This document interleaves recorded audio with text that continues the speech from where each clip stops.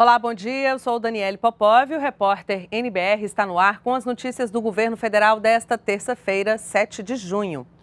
Ministros se reúnem daqui a pouco no Palácio do Planalto para discutir os Jogos Olímpicos.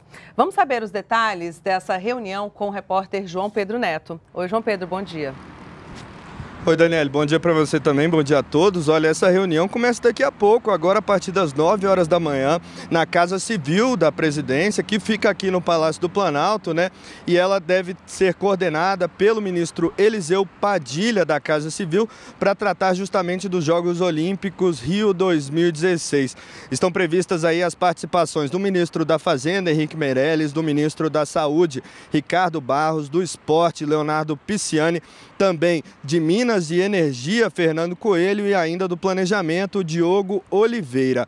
Não está prevista a participação do presidente em exercício Michel Temer nessa reunião. Michel Temer não tem compromissos previstos na agenda agora pela manhã, mas na parte da tarde o presidente em exercício tem uma série de audiências aqui no Palácio do Planalto também. A partir das três da tarde, Michel Temer recebe Rubens Ometo Oliveira, perdão, Rubens Ometo Silveira Melo, que é presidente do grupo do Conselho de Administração do Grupo COSAN. A partir das quatro da tarde, Michel Temer recebe o senador do PR do Espírito Santo, Magno Malta. Às cinco horas da tarde, a audiência é com Paulo Scaff, presidente da Fiesp, a Federação das Indústrias do Estado de São Paulo. E a partir de seis e meia, o presidente em exercício se reúne com o deputado federal do PMDB do Paraná, Sérgio Souza.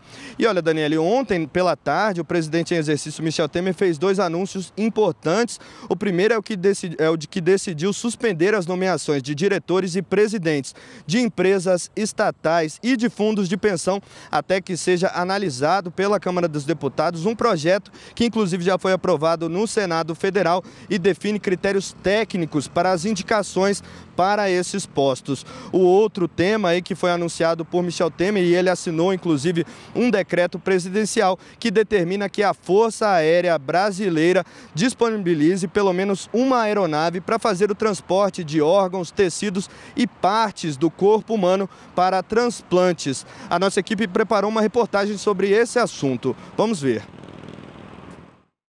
A partir de agora, a Força Aérea Brasileira terá de deixar uma aeronave exclusiva e de modo permanente para o transporte de órgãos ou tecidos para transplantes. O avião oficial também pode transportar o paciente para o local do transplante, caso recomendado por equipe médica especializada. Saúde é vida. E nós precisamos estar atentos a este fato que parece ou pode parecer de menor relevância, mas tem uma relevância extraordinária.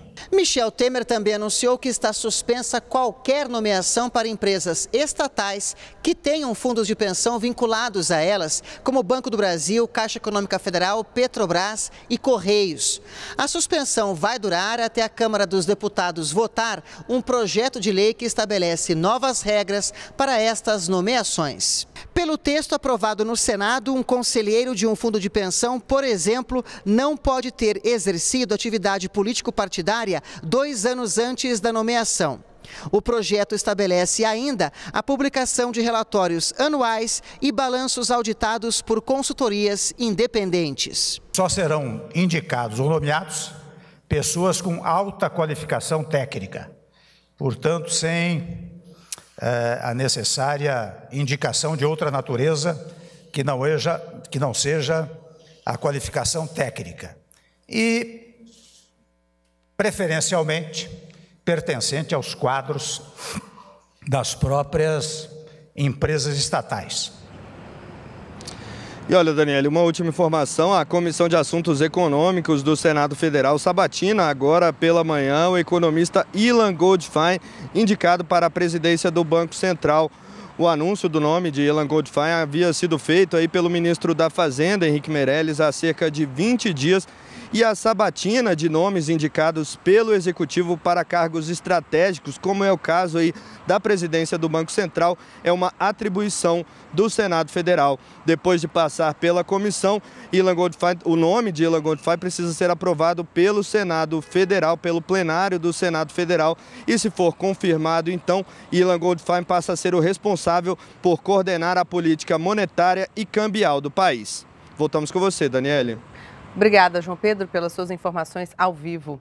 O ministro do Meio Ambiente, Sarney Filho, participa hoje à tarde da reunião do comitê formado para monitorar e controlar as ações na região atingida pelos desastres da barragem de Fundão, em Mariana, Minas Gerais. O comitê é formado por representantes do governo federal, dos governos de Minas Gerais e Espírito Santo, dos municípios atingidos e pelo Comitê de Bacia do Rio Doce.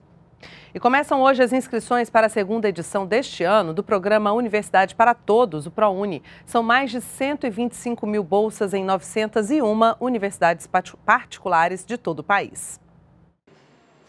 Não é à toa que Mariam mostra com orgulho o trabalho de conclusão em Direito. Levou 30 anos para finalmente realizar o sonho de cursar uma faculdade bolsista do ProUni, acaba de finalizar o último semestre numa universidade particular em São Paulo. Se não fosse pelo ProUni, eu não estaria cursando universidade, porque é, ainda financeiramente seria difícil de eu é, poder bancar essa universidade. Eu quero ser aquele advogado é, da justiça gratuita ou dativo, não quero pegar nada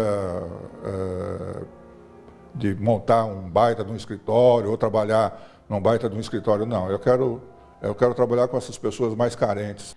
E para quem tem interesse em fazer como o Marian e estudar pelo ProUni, é bom ficar atento aos prazos. A segunda etapa de inscrições começa no dia 7 e vai até o dia 10 deste mês, exclusivamente pela internet no site do programa. O candidato deve ter participado do Enem de 2015 e obtido no mínimo 450 pontos na média das notas. Também não pode ter tirado zero na redação. Vão ser duas chamadas para os aprovados nesta segunda etapa. A primeira em 13 de junho e a segunda no dia 27. O ProUni ele conjuga dois requisitos fundamentais à educação superior brasileira, que é permitir o acesso à educação superior para quem mais precisa garantindo ao mesmo tempo a qualidade de ensino e da educação de quem participa do programa, através do Enem. Quando nós estipulamos 450 pontos como sendo um mínimo para poder participar do programa, aí você já pressupõe que o aluno ele precisa também garantir um mérito, né, o reconhecimento da, daquilo que ele está aprendendo e que faz jus ao acesso à educação superior. Nós ficamos por aqui, voltamos às 10 da manhã com outras informações do governo federal. Acompanhe também as novidades em nossas redes sociais.